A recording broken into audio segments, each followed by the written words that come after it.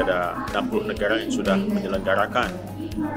RAM ini ya dan Indonesia adalah negara pertama di ASEAN gitu yang menyelesaikan soal RAM ini. Bagi kita ini sebuah pencapaian yang uh, baik ya dan menyemangati kita untuk uh, bisa membuat satu landscape pengembangan AI